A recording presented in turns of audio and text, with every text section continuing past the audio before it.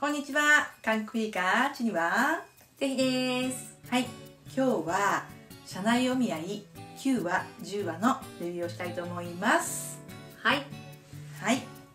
まあ前回ねもうお互いがもうこれで逃げないようにねうん。しようということでうん。まあ橋の上でラブラブのチューをしましてそれからずっとラブラブや。ね。まあだからもう9話は、うん。ほぼほぼうん。2人のラブラブ、そうやねん。モードのシーンばっかりやってな。そう。そうなったらそうなったでさ、もう腹立つのよもうずっとラブラブやから。えー、可愛かったやんか。チューばっかりしとったんや。もうどんだけチューさすねんと思ってさ。いやいやいやいや。チューのアップばっかりあのブランコのとこなんてやっぱだこっちからとこっちからとってさもう何これみたいな感じで、うん。まあ羨ましいですけどね、うん。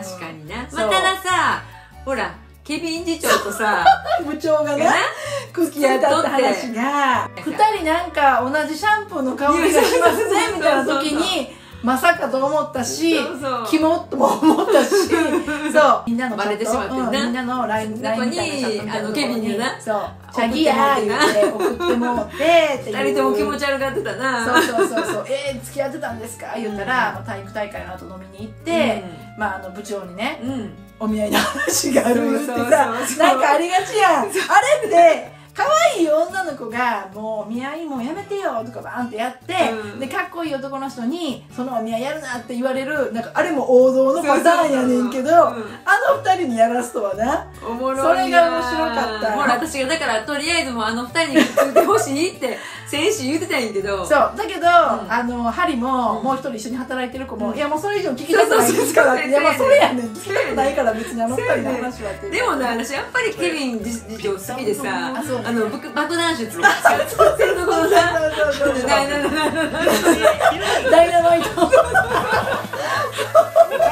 あそこに出すとそん。な感じでさ爆弾師もどこだろうあるあるあるあほん。まあるうん。私もあの昔韓国友達とあの韓国の友達するのに、あの私の場合はビールを入れたグラスに、あのソジュの入ったちっちゃいソジュ入れてそこにドッポンと持ってするわけよ、もうもう用のまん。かったけどね私は、うん。うん。あそうなん。や用のまん。かったもう半分ぐらいしかううん。ん、でもあのもうほんまドラマやったらさもう焼酎カーって飲んでるやうんんすごいなって思うよ、ね、そうそうあんな硬いの飲まれへんで。飲まれへん。なあ。ークワー飲んでるけどさ、うん。ね。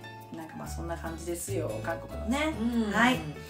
ででまあ,、うん。うんうんあの会長にねそうや。飲み会の帰り見つかったけどもなんとかそこはさいや私な、うん。あの会長な、うん。最後に針呼び出して、うん。もうテムとは会うなって言ったけど、あれ多分違うんちゃうかなと思ってんねん。反対じゃないと思う、ね、かもってるってこと？そうそうそうそうそうそう、うん。あんな岩石の岩石岩尾やのに、うん。あのドラマの中であんな可愛い顔した人がさ、う最後あんな風にできると思えへん？んいやあのあそこはうん。マジの反対やと思うねえー、だってほらテムが好きやったらだってほらマリンフーズのどうのこうの言うとったやんかいやだけどその前に、マリングループか。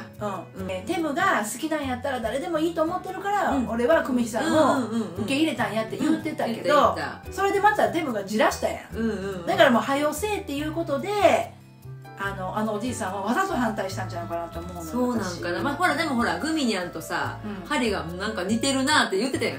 はいはいはい。だからもう分かってんねんそこ多分、うん、ああのおじいさんがそんなあんなゲズな反対するわけないやんかテムえテムテムのこと大好きやの、確かにな。ううんんうんうんうん。だから私はあれはおじいさんが早くくっついてほしいっていうののわざとの反対やっていうふうに私は思ってる。そうか。いやでも私さ、う頑張れグムヒのさ、うん。男の人のお父さんが倒れとったやん。そう死んでな。内訳。そうそうやねん。だからまあ会長が死ぬことはないと思うけど、なんか倒れへんかなってちょっと心配になってさ。う、ん。ちょっとお腹痛いとか言ってたからさ、うん。ちょっともしかしたら。トイレな。うん。行くし。そうそうそうそう、うん。トイレのトラブルが多いねんけどな、うん、でまああとは雨の日のな。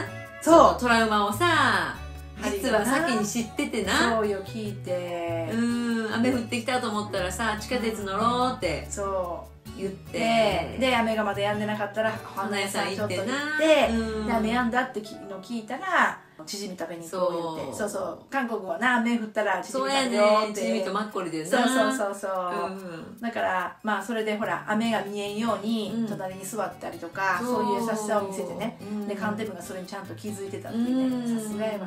もうカンテム足長い。もうそれが言いたかったの今日はもう。いやもういや分かってたけどスタイルいいのは分かってたけど、うんうんうんもうその時の足があんだけ長い人初めて見たわ。ほんまに。で弟にもさそう。ほらバレてさ。そうそうそうそう。でカード私も取ったよ。何でも買ったらいいよ。ねひょん言われてめちゃめちゃ気分良くなってな。それがまたうん。可愛い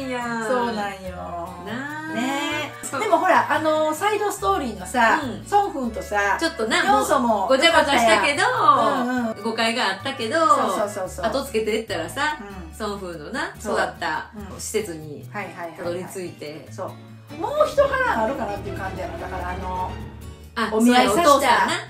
四祖のお父さんの方があヨンソのお父さんがな調べさしとったもんな。そうやねんそうやだからお互いな結局、うん。カンテムのおじいちゃんもそうやし四祖のはいはいはいはいお父さんもうん。なんや動き出して。よ。まあ2話のでまとまるやろうとは分かっててもな。そうやな、うんまあそこがうん。今からのまあまあ全然心配することないんやけどね、うん。めちゃめちゃ面白いしね、うん。そう。ただあれ見とったらねもうビビゴの製品食べたくなるねわかる。そう。